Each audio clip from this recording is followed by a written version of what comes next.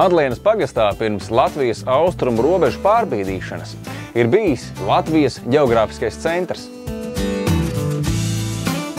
20. gadsimta 30. gados aprakstā par Plāteres pilskalnu izmantotas tolaik vēl tautā dzīvās atmiņas.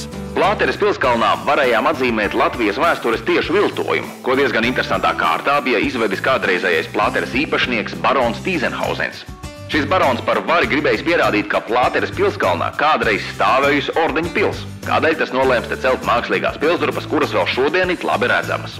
Lai šo vēstures viltojumu padarītu vēl ticamāku, Tīzenhauzens licis iekalt uzcelto pilsdrupu akmenī gada skaitli 1206. Madlienas ciema centrā skaisti slēdz Madlienas Lutāņu baznīca, kuras dēļus reiz minušas mazas, bet vēlāk leģendāras pēdiņas.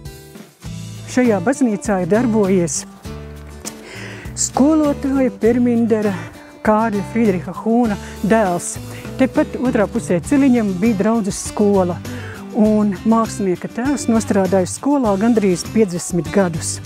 Viņš bija galvnieks, ne, ne, tikai, ne tikai skolotājs, viņš gatavoja ērģeles, dažādas koku konstrukcijas un, un, un, un mazais puisēns, mazais dēliņš noteikti kopā ar tēti pavadīja daudz stundas baznīcā.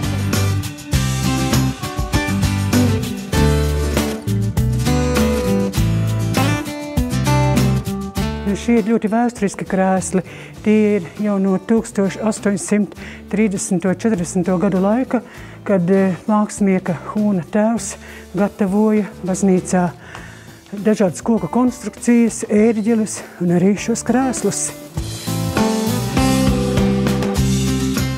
Šiem ķieģeļiem ir gandrīz 600 gadu. Jūs spējat iedomāties kādu vēstures garamantu viņi sevi ir uzsūkuši un tur vēl aizvien.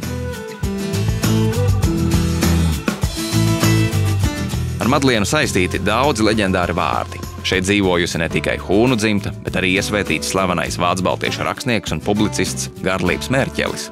Šeit mācījusies arī zināmā kažociņa dzimta. Komponista, diriģenta, pedagoga un mūzikas kritiķa Kārļa Kažociņa vārdā nosaukta Madlienas mūzikas un mākslas skola.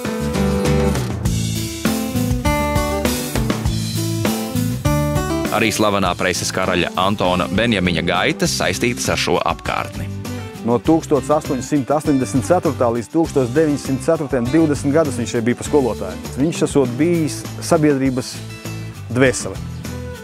Līdzgaitnieki viņu atcerās, ka šeit kopā ar viņu dzīvoja kā cilvēku, vīrieti, kuram vienmēr bijusi balta apaklīte. Benjāmiņš arī šeit, protams, kad piedalās sabiedriskajā dzīvē, kora darbība, pašdarbība un, un, un visādas sabiedriskās aktivitātes. Un, protams, arī viņa nemierīgais gars. Eh, nu, viņa devīze cilvēki atcerās, ja es gribu, tad es varu. Tas īstenībā raksturo cilvēku. Nevar saprast, vai leģendāri cilvēki sajūt šīs vietas varenību, vai arī Madlienas varenība ir tā, kas veido šeit dzīvojošos cilvēkus par leģendām.